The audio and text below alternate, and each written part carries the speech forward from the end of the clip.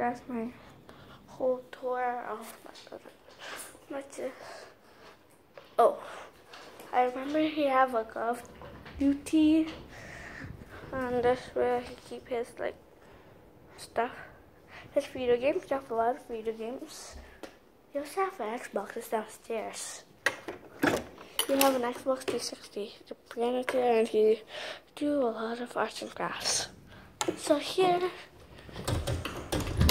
we have a couch, a comfy, comfy, comfy that um, we can lay down with, but it's not open.